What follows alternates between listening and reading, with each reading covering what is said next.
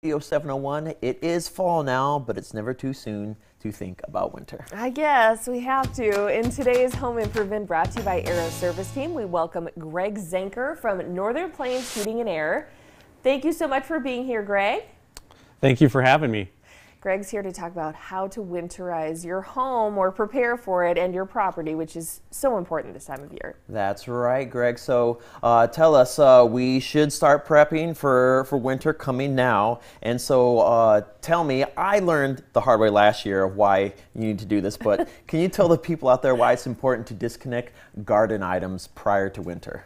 Well, of course, you know, it's kind of sad we're talking about winter around the corner when we just had 100 degree days a couple weeks ago, but that's the that's the seasonality that we live in, and it's very important to to disconnect your garden hoses from your uh, from your outside hydrants um, because those will freeze and break on a on a quick notice. Uh, it frost is coming around the corner. I mean, um, and when you find out that those are uh, not broken is when you turn them on in the spring to wash your car. The other thing you need to be careful of is make sure you blow out your underground sprinkler lines so that way, um, again, those don't freeze and break on you and and create more of a, a havoc outside or inside your home. Did you spring. forget to do that, Michael? Well, for me, it was the garden hose because uh-huh. I'm an avid car washer, and oh. even just one night it yeah. dipped down below freezing, and I went out and my f- hose was just a frozen, oh, no. crackling mess. oh, yeah. No. Okay, well, I know another one of your tips, Greg, is another household item people should winterize are furnace filters and humidifier pads. Can you explain what those are, even? Yeah, so by everybody's furnace down, what we call the return duct, which pulls the air from the house before it goes to the supply, going through your, your uh, heat exchanger or your cooling coil is a filter. And that filter we recommend to be changed uh, spring and fall for sure, uh, more frequently if it's not a, a high quality filter.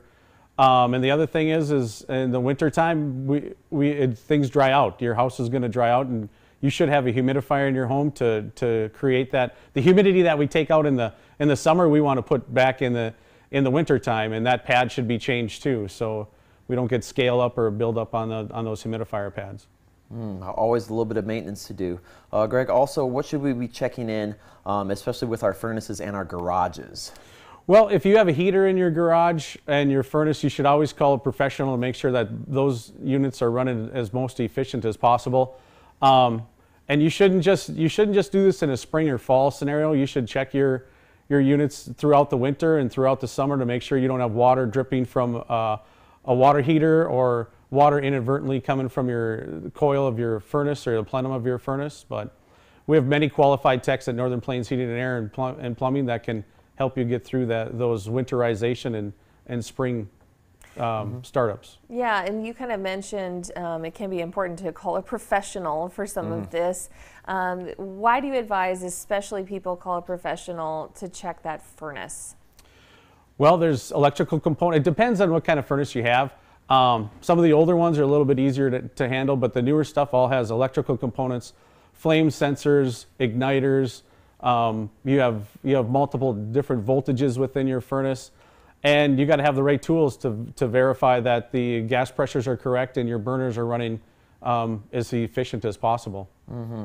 Flame sensors and igniters, definitely a professional. Yeah, call a professional. Thank you so much, Greg. Uh, great tips here. You know, it's I can't believe we're talking about it already, like we said. But are you already getting the calls to winterize the home and have help with that? Uh, yeah, ironically, we call the, this time of year our, our shoulder season. So um, uh, today we'll get some air conditioning calls, and next week, probably Tuesday or Wednesday, by looking at the, the futures, uh, we'll get some no heat calls in the morning. Some furnaces didn't start or something. But hey, uh, our most important job is to make sure everybody's comfortable within their home. Mm-hmm. Yeah, so well, Greg, thank you so much for coming on the show today.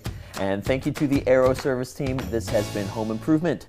For more information, check out northern uh, plains.com or follow them on Facebook at NP PLUM Heat Air, or the old fashioned way, call them up 701 222 2155. All right, great tips already. Welcome